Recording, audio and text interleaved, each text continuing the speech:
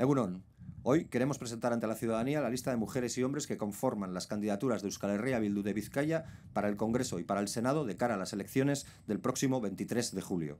Son personas con trayectorias diferentes, pero con un objetivo común, la defensa de los derechos de todas las personas que viven, trabajan y cuidan en Vizcaya. Tienen perfiles diversos, pero comparten un anhelo, un objetivo, un país digno formado por hombres y mujeres libres.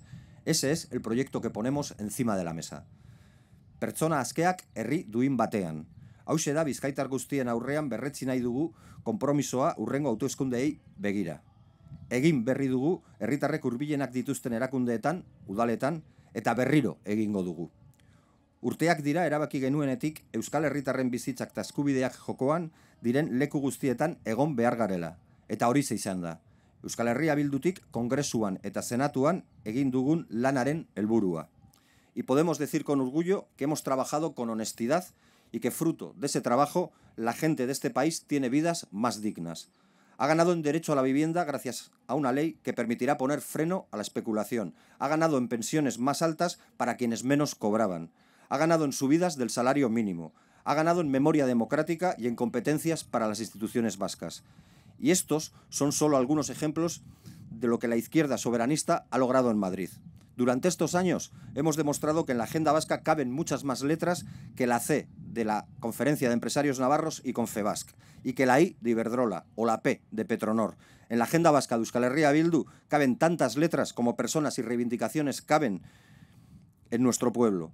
Y como todavía queda mucho por hacer, tenemos la determinación de seguir condicionando y priorizando las agendas de quienes pretenden gobernar en el Estado. Son las, sin las izquierdas soberanistas no hay políticas para la mayoría. Sin el soberanismo de izquierdas no hay gobiernos de progreso que pongan a las personas en el centro. Sin las izquierdas soberanistas no hay políticas de izquierda en el Estado español.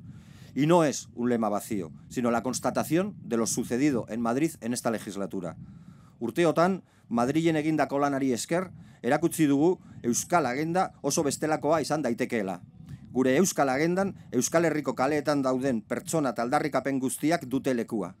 Eta lanean jarraitzeko asmoa dugu, Espainiako gobernuak jendearen eskubideen alde egitera behartuz. Izan ere, argi izan behar dugu, ezkerreko subiranismurik gabe, ez dagoela gehien, gehiengoari zuzendutako politikarik. Gure bultzadaren faltan ez dira pertsonak erdigunean jarriko dituzten politika aurrerakoiak egingo. Ezkerreko subiranismoaren eskutik bakarrik egingo dira ezkerreko politikak Espainiako estatuan.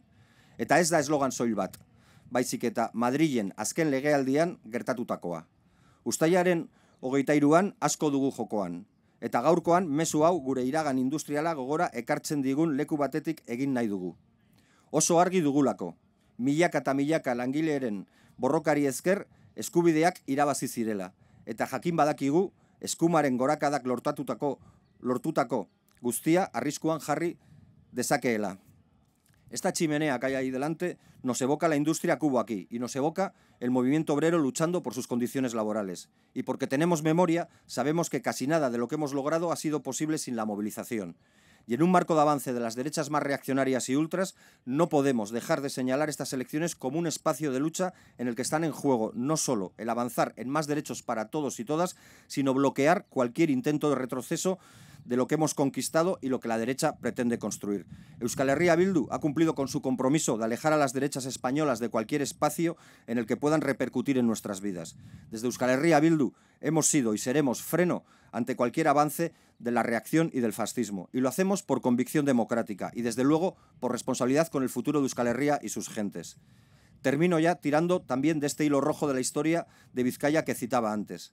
Ayer se cumplieron ocho años de la muerte de todo un referente de la izquierda vasca, un imprescindible de las calles y las movilizaciones que animaron Euskal Herria y que luchó hasta el último día de su vida en todas aquellas causas en las que pudo participar. Estoy hablando de Perico Solavarría.